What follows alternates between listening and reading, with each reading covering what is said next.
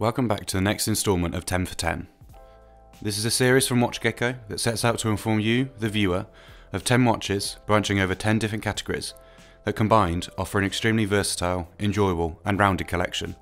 Altogether coming in at a value less than £10,000. Some watches may be more expensive, some may be extremely affordable, but altogether they will collectively cost less than £10,000. Stay tuned to the channel for regular new episodes, as well as the WatchGecko blog for further coverage of each watch featured. Links will be in the description below. Up until now, we have focused purely on new watches that are readily available online. However, for episode 4, I think it's time we have a look at something completely different. Vintage watches have been increasing in popularity year on year. You only need to look at popular examples from Rolex, such as the Paul Newman Daytona or the 5513 Submariner, to know that these models have increased in value massively. Unfortunately, the above two references are now more than £10,000, so can't make an appearance in this series. However, there is a watch which equally has similar charm and history. Caravelle was introduced in 1962 as a way for popular watch manufacturer Bulova to create and offer consumers a wider range of watches at a lower price point. Commonly priced around 10 to $30, Caravelle was Bulova's more affordable lineup, and a way for them to produce models for the market without potentially harming or devaluing the Bulova name.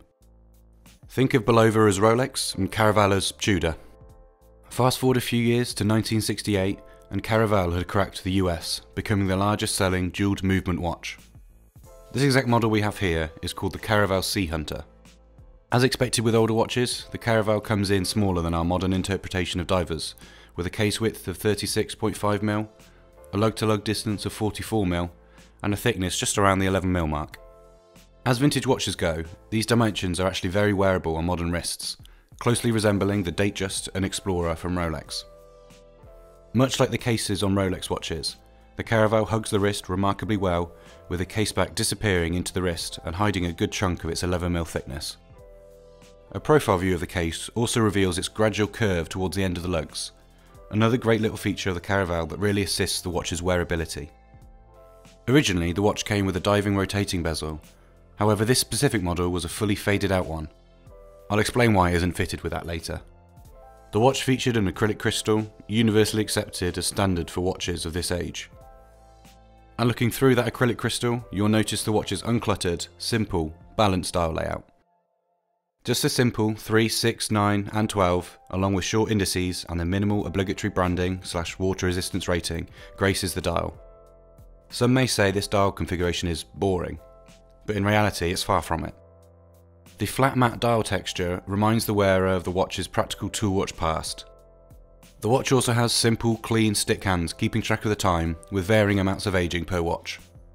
The hands are subtly curved down from the middle, inviting light to bounce off the hands at different angles. The watch is, well, was, water resistant to 666 feet, which is approximately 200 metres. This is a very practical and usable depth for a diving watch, However, I would advise your Caravelle admires the water from a distance, as time will have not been kind on the internal rubbers and seals, not guaranteeing the watch's water resistance at all. With that 666 rating on the dial, you can really see where the nickname Devil Diver comes from. So, how does the watch wear? Well, with all those impressive stats, it should come as no surprise that Caravelle wears brilliantly on the wrist. The watch's pure, no frills design means it has versatility in abundance. Throw it on a metal strap and you retain the watch's purposeful past, Alternatively, swap it out for a quality leather strap and allow your Caravelle to retire in daily comfort and class. For a watch which was a part of a budget or value line, it really does punch above its weight. The watch isn't a bulky piece and can adapt quickly to different situations you may be wearing it in. One key, almost unexplainable feature of vintage watches is their charm. Vintage watches just have something about them. The fact that you can have two exact models next to each other and they can easily be vastly different is pretty special. The watch flies under the radar once on the wrist, avoiding any unwanted attention. All of this sounds very similar to a popular watch from Mr. Wilsdorf. A lot of the reasons why this watch works so well, I believe, is down to its uncanny resemblance to the 1016 Explorer from Rolex. This particular reference was produced from the 50s to the 80s, making it one of the longest reference numbers with a Rolex crown to come out of Switzerland. Naturally, being vintage, the cost of Devil Divers can vary depending on condition, the example we see here cost around £200 without a strap and a fully faded bezel. That decision to take off the bezel was to really emphasise the watch's similarity to the 1016 Explorer. With such a similar design to the iconic Rolex 1016, everything all starts to make sense as to why the Caravelle is a standout option as a vintage watch. Let's take a look at a few strap options. The Butterfly Solid 5-link D profile by Geckota. This is a look I immediately wanted to put together when getting my hands on the Caravelle. It really further advances on the watch's bare bones and purposeful design. And when fitted to the watch, we've used the standard curved ends available on the site, fitting the Caravelle extremely well. The Painswick QR Distressed Brown by Geckota. One of our most popular newest additions to our range, the Painswick QR is a great strap for the Caravelle. Firstly, the strap has a distressed texture, which really works to emphasise the watch's tool watch origins. Next, the strap is around 2.2mm thick, meaning for thinner watches this is a perfect option. And finally, quick release spring bars means you can easily switch up the strap without tools. For the Caravelle I went for the distressed brown, adding a nice level of warmth to the piece. The Cebu Pastel Soft Top Grain in black by Geckota. If you're subscribed to the channel, you'll have seen in the past we tend to suggest brown straps, however black straps are equally as great for changing the look of your watch. Here this soft top grain strap gives the Caravelle an extremely classic look. Its use of top grain leather means it's incredibly soft to touch and perfectly comfortable instantly. As you may imagine, Bulova and Caravelle didn't just create this one model under the Sea Hunter name. There are many examples which range from chunkier cases, the use of bright coloured seconds hands, integrated bracelets, and white dials. Let's take a quick look at what else is available. The example we have here has a case width around 34.5mm, a lug to lug of 41mm, and a thickness still around the 11mm mark. The 6, 9 and 12 remains on the dial, however a date window replaces the 3. We see slimmer hour markers, longer seconds track, and a lovely black bezel, which over the years has turned a royal blue in certain light. Probably the most prominent difference on this watch is those hands.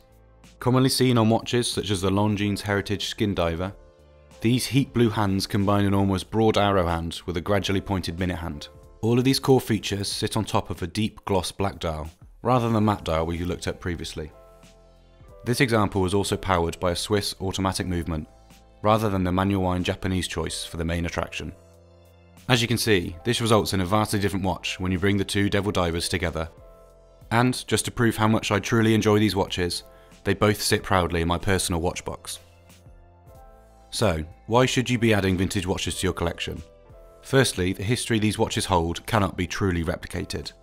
That unexplainable charm we mentioned earlier is truly unique to vintage watches, and best told through wear and patina. The feeling that these watches have lived a life before your ownership is quite intoxicating when you explore the world of vintage. And of course, the Caravelle Devil Diver in particular offers charm, wearability, universal style, and timeless design, all in a watch that can be had between £200 and £1,000. With the watch's visible rise in popularity over the past 12 months, I'd advise you pick one up as soon as you can. Stay tuned to the channel for the next episode of 10 for 10, where we explore another great watch that is perfect in creating a well rounded collection.